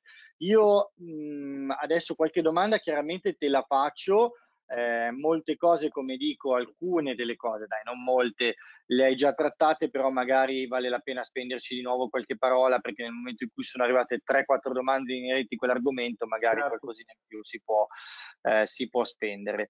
Eh, allora, partiamo da, da problematiche eh, molto puntuali. Per esempio, ci chiedono eh, quando il cedimento è nei travetti che trascinano nella caduta anche il laterizio, l'ancoraggio proposto è ancora valido?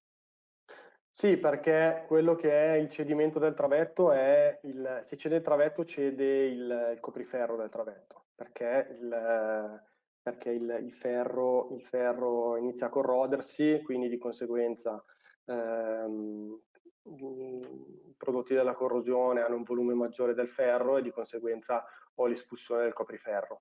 Eh, non, non, ho motivo per cui eh, mi si debba mh, mm, ammalorare diciamo, più in profondità, anzi se mi si ammalora in, in più profondità non ho niente da, da, da, mettere in sicurezza perché mi viene giù il solaio, mi è già venuto giù quel solaio lì, quindi ehm, la problematica si pone appunto è quando ho appunto il se, ho il travetto di mezzo è perché ho un'espulsione del copriferro. Quindi ehm, nel momento in cui ho un'espulsione del copriferro, quindi ho ripristinato il travetto, la malta di per sé diventa un, eh, una parte anche in realtà più, più resistente del, del, del, del, calcestruzzo stesso, la malta da ripristino. In quel caso lì è comunque consigliato utilizzare la, la vite da 12, da 12 cm in modo che mi tolgo qualsiasi dubbio e mi vado ad ancorare comunque al nucleo del, del, del travetto. Se io non ho più un nucleo del travetto, non ho più il solaio.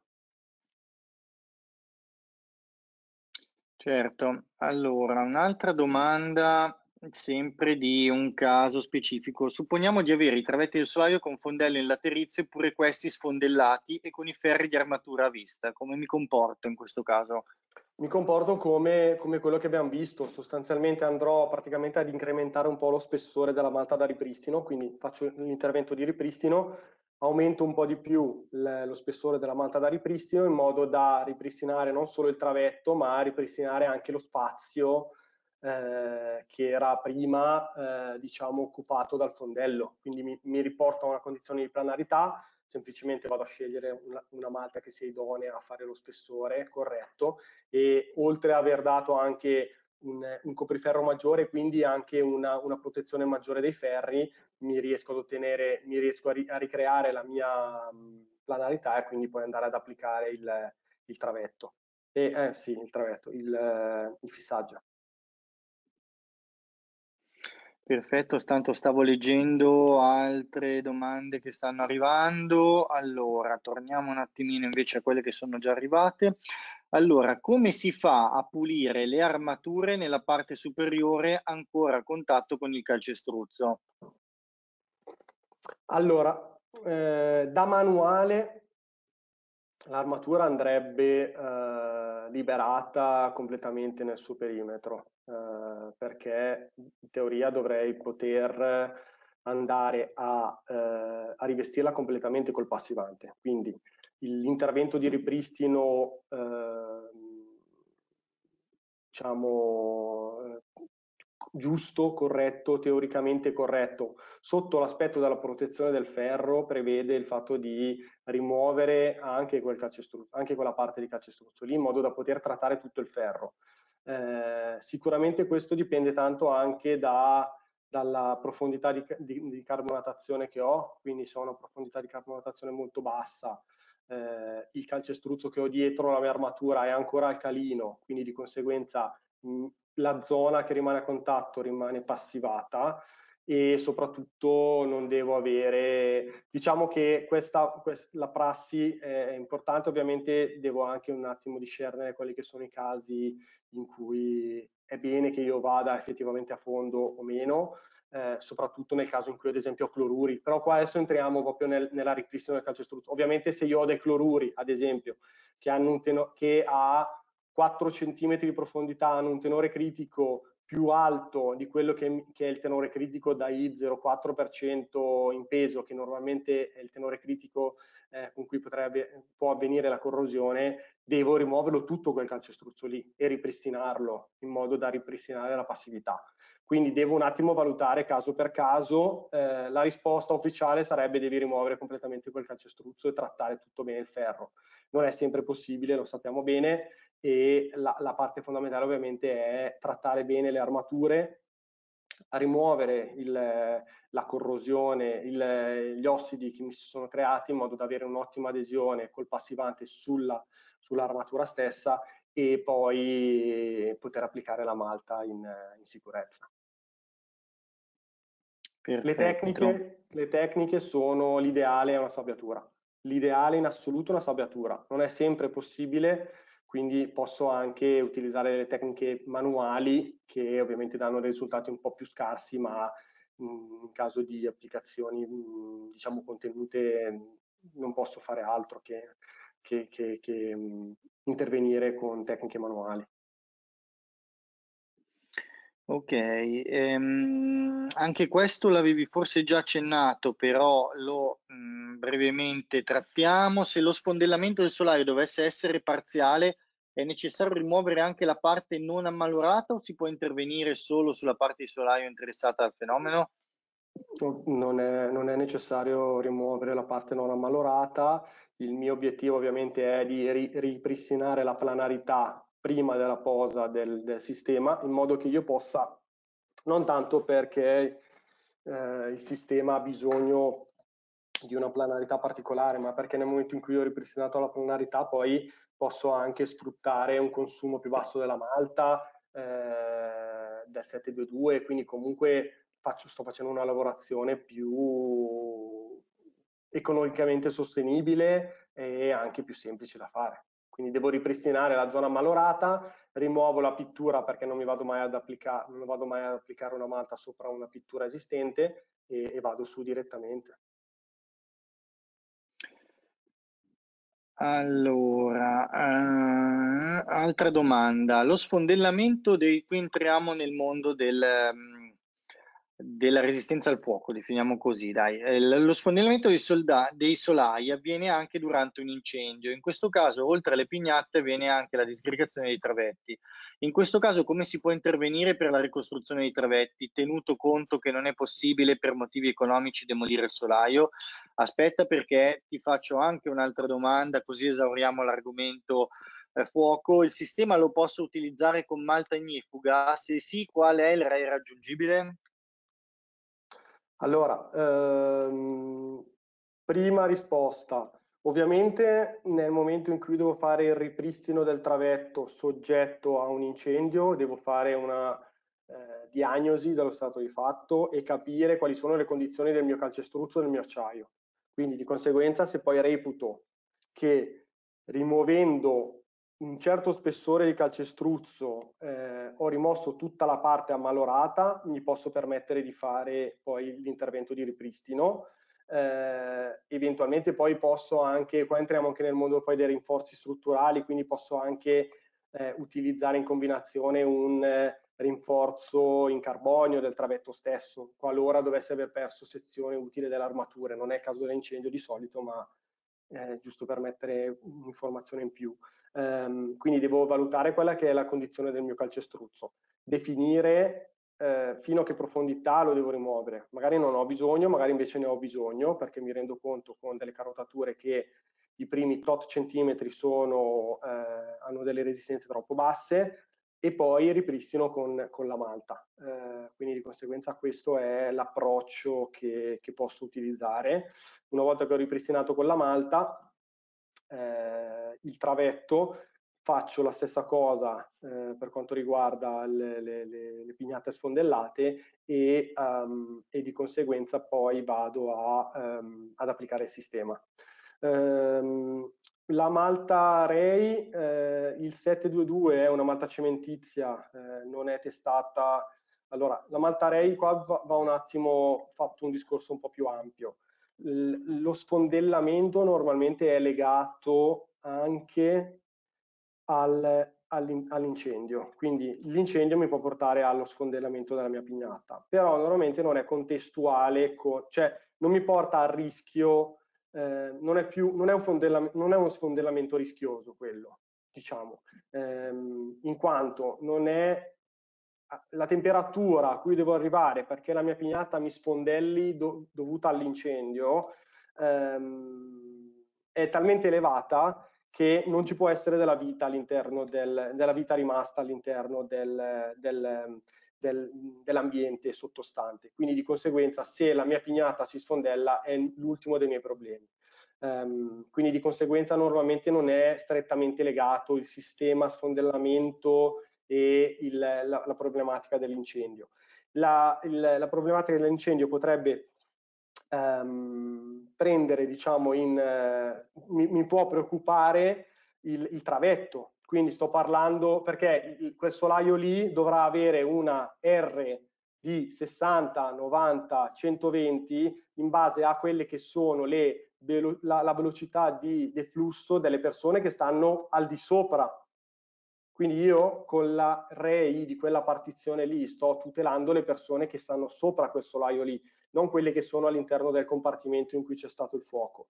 Quindi eh, in quel caso lì io mi devo porre il problema dei miei travetti se non hanno eh, sufficiente mh, mm, ehm, protezione al fuoco, allora posso andare a utilizzare un sistema di eh, protezione dei travetti, che tra l'altro no, di protezione del, della, della, struttura del, del, solaio, che tra l'altro noi abbiamo anche a, a disposizione e potremmo, e a quel punto lì poi posso decidere di andare a mettere, una volta che ho fatto il sistema di antisfondellamento, quindi mi sono messo a posto per, quando, per quello che potrebbe essere lo sfondellamento dovuto al sisma piuttosto che uno sfondellamento mh, normale come potrebbe essere non legato al sisma e poi gli posso andare a fare un rivestimento REI con una malta che mi dà eh, le prestazioni eh, REI di cui ho bisogno, R, in realtà stiamo parlando, stiamo parlando della struttura ehm, del, della mia compartimentazione.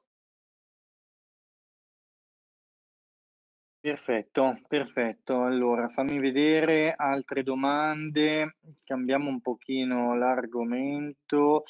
Eh, allora, partiamo con queste che sono altrettanto interessanti, dove si può applicare questo sistema. Eh, abbiamo visto prima il caso dei solai tipo Varese con eh, la luce dei tre travetti di un metro. Abbiamo, eh, non abbiamo affrontato altre tipologie. Vediamo questi, questi sistemi antisfondellamento vanno bene per solai SAP. Allora, il solaio SAP, il problema principale del solaio SAP è che non ho, che non ho accesso al travetto, perché il travetto è molto fine e, eh, e, ha delle armature molto congestionate, quindi posso utilizzare il sistema passante, quindi eh, quello è una delle condizioni in cui non ho accessibilità al, al travetto, quindi devo utilizzare il sistema passante, eh, quindi il sistema KPS Fast e, um, e andare ad ancorarmi alla, eh, alla, alla caldana armata del, del solaio stesso. Ok, si può usare il sistema Sika Safe nei casi di soffitti antichi in arelle e gesso? Allora, la cosa in generale, la cosa fondamentale, allora è pensato, questo qua è un sistema pensato principalmente per eh, solai in eh, latero cemento. lo posso utilizzare in tutti i casi in cui ovviamente ho dei travetti in calcestruzzo e in, in tutti i casi in cui ho una caldana armata. Eh, quindi di conseguenza potrebbe essere, eh, ci sono tutta una serie di solai, come potrebbero essere anche dei solai gettati sulla mira grecata piuttosto che eh, gettato su assito in legno. Eh, a quel punto non mi interessa più quello che ho sotto, ma mi vado semplicemente a fissare a quello che è il, la, il mio getto di calcestruzzo. Nel momento in cui non ho il getto di calcestruzzo, allora le cose iniziano a farsi un po' più complicate, Ser servirebbe inserire una, un sistema aggiuntivo di, di, fissaggi che però se, cioè, se, dovesse, se, il cantiere dovesse valerne la pena si può anche diciamo, eh, valutare. È solo una questione di scegliere il fissaggio corretto, poi la, la, possibilità di estendere il sistema anche a sistemi in solo, in solo, acciaio in realtà non esiste, cioè non mi serve nemmeno andare a fare la, lo sfondellamento. Anche nel legno comunque i casi sono un po' diversi, però eh, in quel caso lì si parla solo semplicemente di scegliere quello che è il sistema di tassellamento corretto.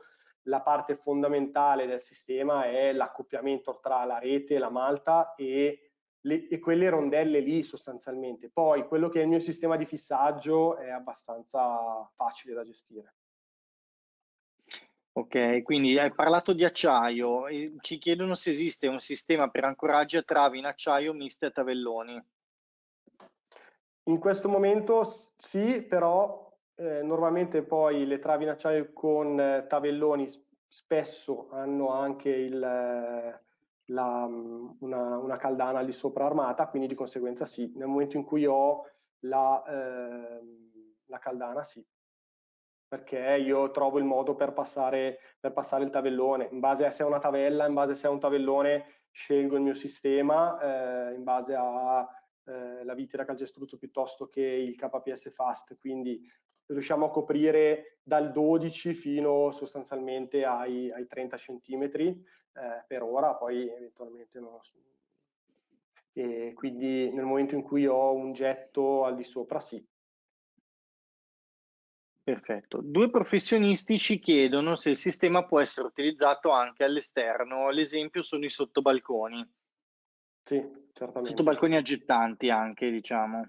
Certamente, può essere usato anche all'esterno, ovviamente in quel caso lì vado ad, ad, applicare anche la malta, quindi almeno il sistema RM1 eventualmente oppure il sistema RM2, però utilizzo il sistema RM, quindi sempre con la malta perché vado a proteggere eh, la, la, rete che di per sé non ha particolarmente bisogno di essere protetta perché comunque la fibra di vetro non ha particolari problemi per quanto riguarda l'esposizione ai raggi UV, ma eh, in quel caso lì è, è, è, necessario andare a utilizzare anche la, la, la malta perché ho un sistema di protezione migliore. Perfetto, vado avanti eh, con le domande. Mm. Allora, volevo chiedere se la rete in fibra di vetro viene venduta in rotoli interi o anche in sottomisure, quanti metri lineari è il rotolo e il suo costo. Allora, il costo magari poi entriamo un po' sì. più nel dettaglio, è la, di solito è la domanda finale no? con cui chiudiamo i costi di interventi, quindi già te l'ho anticipata così ti prepari. Ehm, io, io, non li so i costi. allora, ehm, a livello di fornitura la rete è fornita eh, in rotoli da 50 metri con larghezza da un metro. Quindi questo è l'imballaggio di, di, di, fornitura. La lunghezza è 50 metri, il rotolo è un po' quello che abbiamo visto all'inizio, avevamo visto qualche immagine, quel, quel rotolo lì. Perfetto.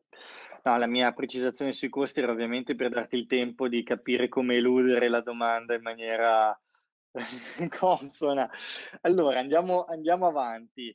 Ehm, ecco, questo è interessante. Qual è l'incremento medio di carico sul solaio trattato con il sistema RM? Allora, di carico ehm, bisogna distinguere perché questo non è un sistema di rinforzo del solaio che poi vada a collaborare è un'altra, è un'altra questione, ma non pretende di essere un sistema di rinforzo del solaio, quindi non io non posso ipotizzare di aumentare i carichi eh, del solaio, della struttura del solaio perché vado a mettere questo sistema, che poi nella realtà in qualche modo un po' succede, ma è difficile da quantificare, eh, molto molto difficile da quantificare e soprattutto il sistema non è pensato per quello. Il sistema è pensato per resistere al carico da sfondellamento, quindi il sistema deve essere, il solaio deve essere di per sé ehm, capace di, di, di, sostenersi da solo struttura, strutturalmente. Se ho bisogno di rinforzarlo abbiamo tutti i sistemi possibili e immaginabili in SICA per andare a fare il rinforzo dei travetti, ad esempio quello più utilizzato ovviamente sono le lamine in carbonio, con cui possiamo andare ad incrementare notevolmente la, la resistenza del solaio eh, con un'applicazione molto semplice um, e, e, invece questo sistema qua lo uso prettamente per l'antisfondellamento. Quindi i carichi di sfondellamento ne abbiamo già parlato e la resistenza ai carichi di sfondellamento, i carichi di sfondellamento sono abbastanza sempre quelli eh, e la resistenza abbiamo visto che è molto molto maggiore. Ecco, mi riallaccio a questa tua precisazione sui sistemi eh, con lamine eh, per lanciare questo messaggio, visto che molti ce l'hanno chiesto, eh, dove sarà possibile rivedere questo webinar, ma io mi riallaccio dicendo che abbiamo tenuto anche un webinar proprio della SIC Italia Web Academy in cui abbiamo presentato quei sistemi eh, a lamine, eh, si trovano sul canale YouTube di SICA Italia. Eh, quindi sicuramente tutti i webinar che abbiamo già tenuto sono già presenti, potete andarveli a vedere anche a conclusione di questa diretta.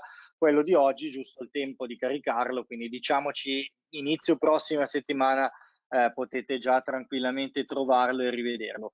Chiusa questa precisazione, ancora solo, qualche... Solo, scusami, eh, eh, una cosa, sì. abbiamo, fatto, abbiamo visto in quel webinar lì anche il software di calcolo, quindi il nostro certo, software che esatto. ci permette di fare anche il calcolo dell'incremento della, della resistenza del, anche del solaio, perché permette di fare anche il calcolo sui travetti, quindi ass assolutamente pertinente.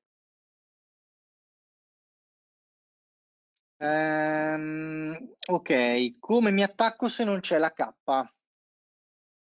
A travetto. Perfetto. Eh, vediamone altre. Mm. Beh, allora direi ancora, eh, facciamo anche questa su una malta. Eh, ci chiedono se esiste anche una malta traspirante a base calce utilizzabile in questo sistema. No, l'unica malta che utilizziamo è questa perché è l'unica malta che ci permette di avere prestazioni eh, sufficientemente elevate per, eh, per, un sistema di questo tipo.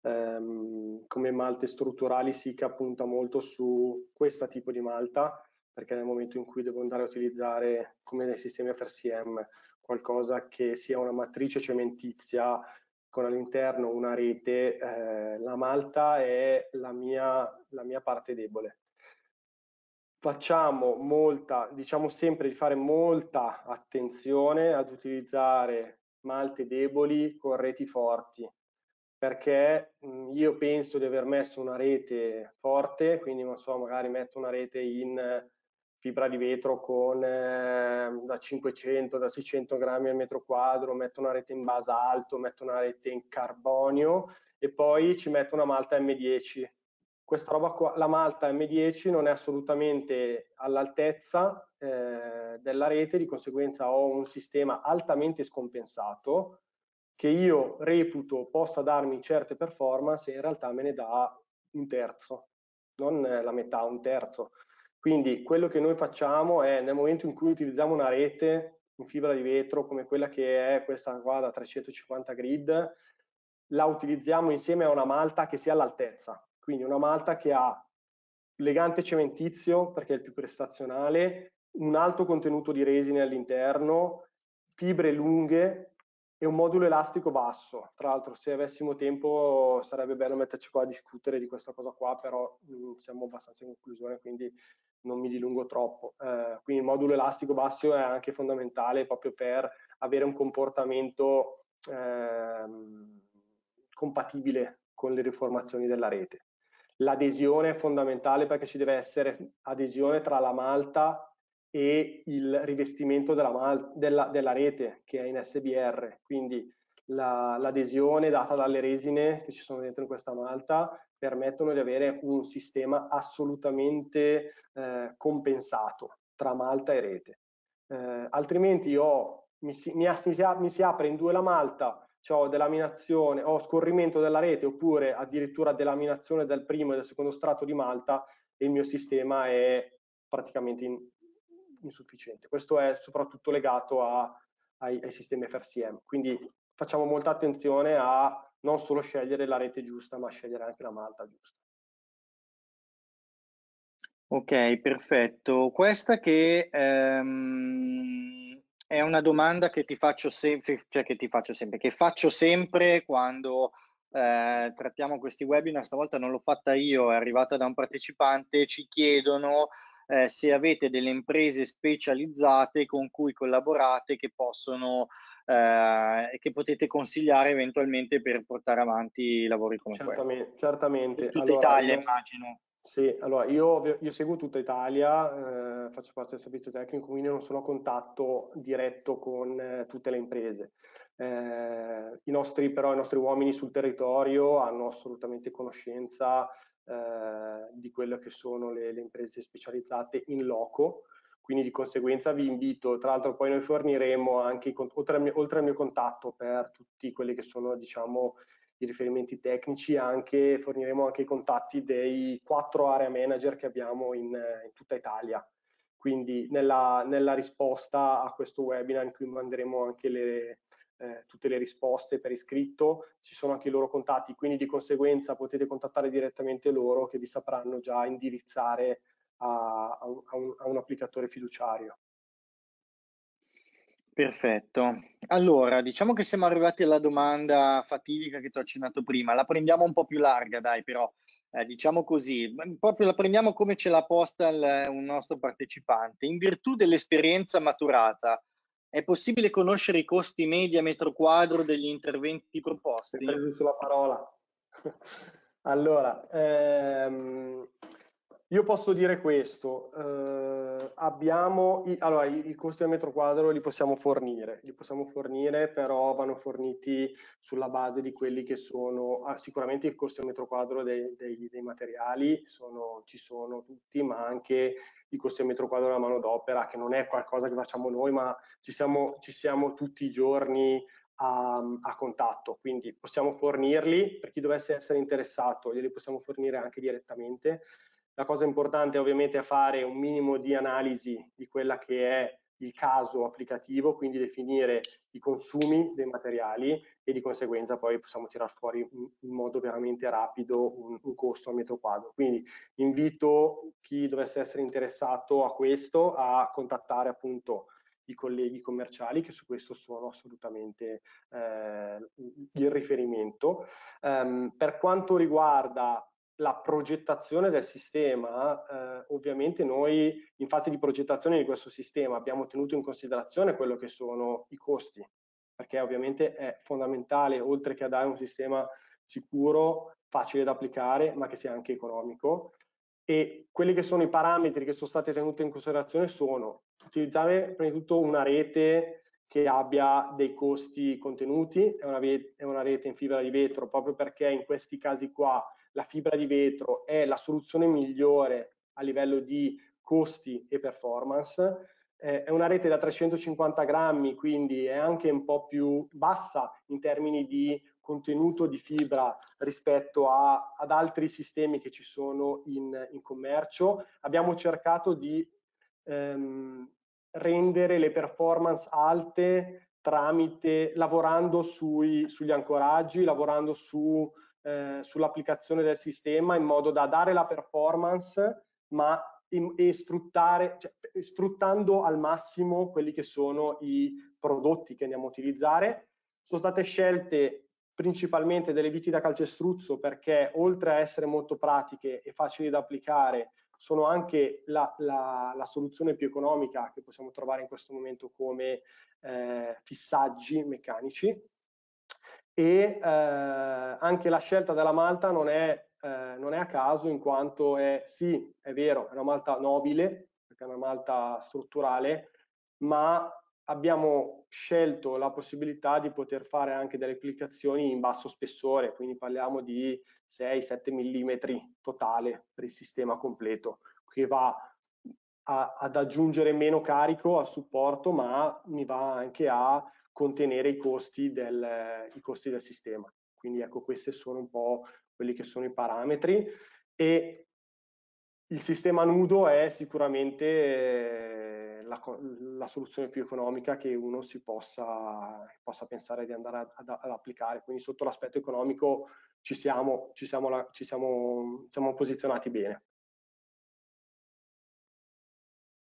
Perfetto, allora direi che eh, l'orario è arrivato, sta ancora arrivando qualche domanda, ma prevalgono i saluti e come sempre dico, quando arrivano i saluti, i ringraziamenti e eh, i complimenti per, per la, la, il webinar, per la trattazione, ai quali mi aggiungo ovviamente, eh, capisco normalmente che è l'orario di andare a chiudere questa diretta che come sempre eh, dura ben di più di un'ora, ma vedo che i nostri partecipanti ci seguono fino alla fine, quindi eh, ci fa molto piacere che anche questa sessione di domande finali è effettivamente seguita e partecipata. Allora, io ringrazio tutti voi per aver partecipato, ringrazio te Federico, adesso non mi ricordo Grazie se ti ritroveremo nel, nel programma. Ehm, non a breve, però sì. Non a breve, non a breve, perfetto. Facciamo allora, spazio, no, vabbè, insomma, mi fa piacere comunque averti perché eh, in virtù della preparazione che hai, eh, diciamo, hai sempre portato un po' di, di, di, informazioni in più e di ottime risposte ai nostri professionisti. Troveremo però il tuo collega la prossima settimana che è Alessandro Negrini, eh, perché torniamo a parlare di, di flooring di pavimentazione, pavimentazione in resina, ci spostiamo in ambito industriale, quindi per chi fosse interessato, mercoledì prossimo la SICA, Web, SICA Italia Web Academy continua, come vi ho anticipato, continua fino alla fine eh, di giugno, abbiamo già tutti gli appuntamenti messi a calendario, quindi sul nostro eh, canale Eventbrite trovate già tutto per chi fosse interessato, eh, trova appunto lì tutti gli argomenti ai quali iscriversi, quello più prossimo è quello della prossima settimana, eh, mercoledì 27, sempre alle 5, quindi nuova veste pomeridiana, eh, parleremo di, di, flooring applicato al mondo del, delle, eh, delle aree industriali, quindi fondamentalmente degli spazi industriali. Detto questo, l'orario è quello con cui vi auguro al solito un buon aperitivo, una buona cena, una buona serata. Eh, pertanto io vi saluto, lascio la parola a te per un ultimo saluto, Federico. Sì, grazie mille. Vorrei aggiungere che io vengo da Bergamo, quindi alle 7 noi di solito mangiamo. Scherzo. ecco, perfetto. Adesso, abitando a Milano ho dovuto dilatare i miei tempi. Alle 7 neanche ti sei messo a fare l'aperitivo. Ecco, grazie a tutti, grazie a tutti, a presto. No, ma anch'io lo dico per gli altri, io bimbi piccoli, anch'io tra poco mi metto a tavola, devo essere sincero. grazie a tutti, alla prossima. Ciao, grazie.